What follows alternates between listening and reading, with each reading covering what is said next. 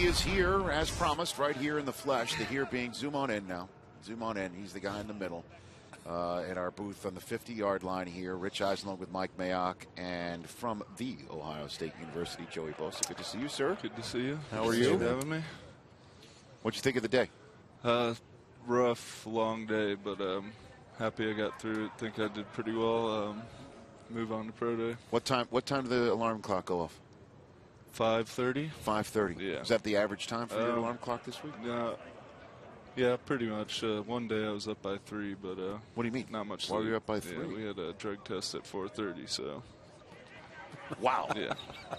See, that's stuff people at home don't understand. Well, no, that's because that, that's what we were talking about, Mike. Is that the, the drills you finally get to hit something, finally get to run around Mm-hmm.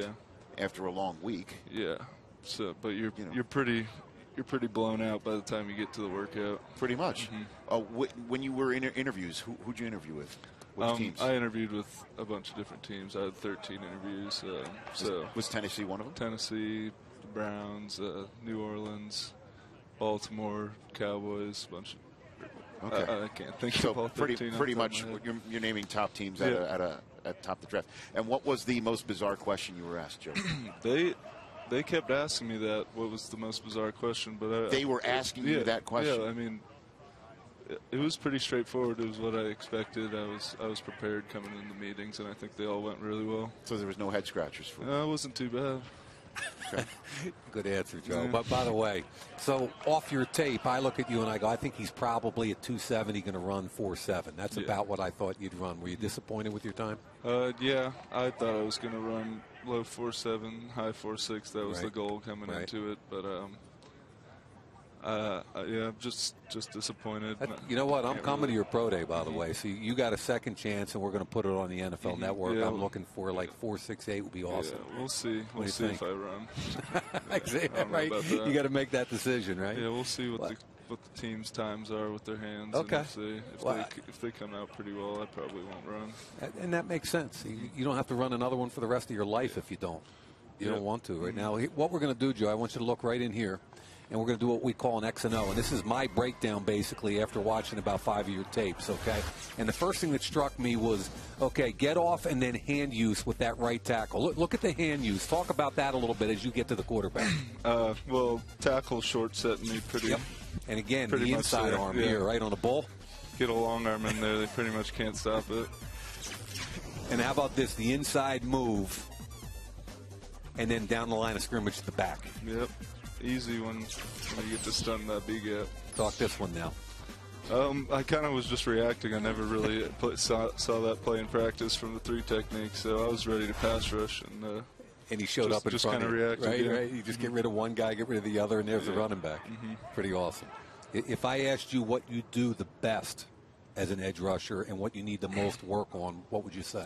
um, I think I use my hands better than better than anybody in the country right now. Um, I just need to continue working on all my skill sets. Uh, just be consistent all around. I, I don't want to just I don't want to be good at one thing and not Right. good at the other. I want to consistently get better in the run, in the pass, whatever it is. So I've I've room to improve everywhere. Is there anybody you've modeled your game off over the years? Uh, not not specifically. Um, I like watching uh, one of one of my coach's guys. He plays for the Chiefs now. Um, Tamba Hali. He's he's fun to watch the way he uses his hands and flips his hips. But I, I try to I try to be my own player. Willie McGinest down the field. You got a question for Joey? Yeah, Joey, uh, I was down here and I watched you uh, up close and personal. We're kind of in the same boat coming out. Tell the fans and people how tough it is to transition from a guy who has his hand in the dirt and going forward to some of the other drills you had to do. You were one of 12 guys that had to do some of the uh, hybrid drills. Yeah, I, I felt pretty comfortable. Um, I thought I looked pretty well, pretty good out there. Um, I've dropped in, in college, so so I, I w- I'm used to flipping my hips and getting my hips open. So it wasn't too bad of a transition. You, you had a nice drop against Minnesota Yeah. out of a three point. You thinking Yeah. of that one, right? Yeah, Flashed under with the quarterback, and you should have picked it though. Yeah, shoulda. Right? Where your hands? shoulda, coulda, woulda. You know, and how about your former teammate? You know, we were talking an awful lot about Joey Bosa. Let's talk about Noah Spence and, and give us an overview of his game.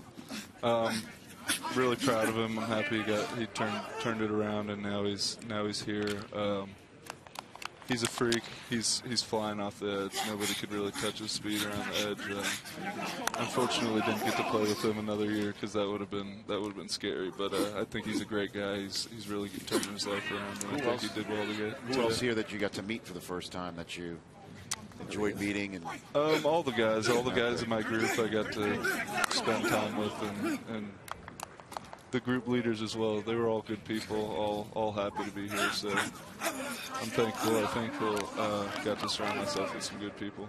Yeah, I guess you get to meet guys when you wake up with them at 4:30 in the Yeah. morning and just sit around and wait, Yeah, wait till somebody hands you a not, cup. not much talking going on that early. in the Just staring into space. Hey, the- The good news is it's over. Yeah. We really appreciate you coming up here, and you're on your way home, man. Yep, finally.